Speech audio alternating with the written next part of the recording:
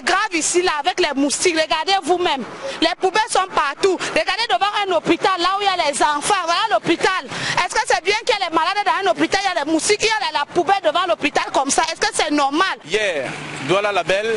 Aujourd'hui, Douala la poubelle. Simplement à cause d'état d'immondice qui envahissent la capitale économique du Cameroun. L'entreprise en charge de l'enlèvement de ces ordures a presque jeté l'éponge et la population se plaint. C'est invivable ce qui se passe au quartier.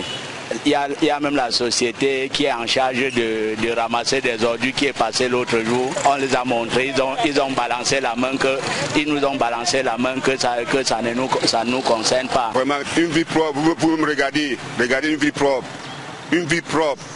Que veut dire une vie propre? Vous me regardez même. Durant le périple effectué dans plusieurs quartiers de la ville de Douala, le constat est clair.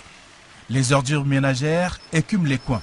Les abords des bacs à ordures qui résistent aux actes des sans-foi ni loi sont arrosés des déchets. Tout le monde qui passe, chacun sort de son côté, on vient verser. Je ne comprends pas.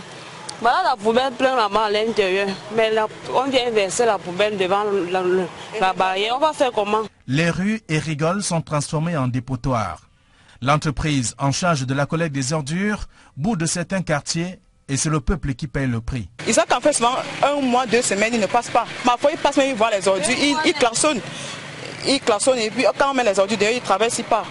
Au bout de 30 ou 50 mètres, des tas d'ordures vous saluent, faute d'espace aménagé pour accueillir les déchets. En réalité, ici, ils n'ont pas pu mettre les bacs à ordures. Dans le quartier, il n'y a pas de bacs à ordures. Donc, ce qui fait que les, les habitants sont obligés, parce qu'ils tiennent ça chez eux pendant 2-3 jours, mais après, qu'est-ce qu'ils peuvent faire les ordures à la maison? Ils ne peuvent que venir déverser en bordure de route. Des odeurs qui se dégagent, des ordures en décomposition, exposent des populations à des maladies diverses. Ça sent pas bon, on va supporter, on est habitué avec. De temps en temps, c'est comme ça. On va tomber malade, mais que faire? Au lieu du Bépanda Carrefour Pasteur, par exemple, un centre de santé partage l'espace de vie avec une poubelle. Et c'est la fleur de la structure sanitaire qui héberge les mouches. Il y a dix jours, j'ai rencontré le chauffeur qui est venu là pour euh, la poubelle, pour enlever les, les, les saletés de la fois passée. Je l'ai supplié et je lui ai bien dit que c'est l'hôpital ici. Nous sommes là pour soigner les gens. Regardez vous-même à quoi ça ressemble. Difficile de vivre à Douala depuis quelque temps à cause des mauvaises odeurs que laissent échapper des multiples poubelles qui inondent la capitale économique. Difficile de respirer lorsqu'on est proche d'une poubelle comme celle-ci qui est juste en face d'un centre de santé. Et après avoir fait le tour dans plusieurs quartiers de la ville de Douala, on constate véritablement que Douala est sale. Sale à cause d'état d'immondice, sale à cause de ces poubelles. L'entreprise en charge de l'enlèvement de ces poubelles a presque jeté l'éponge.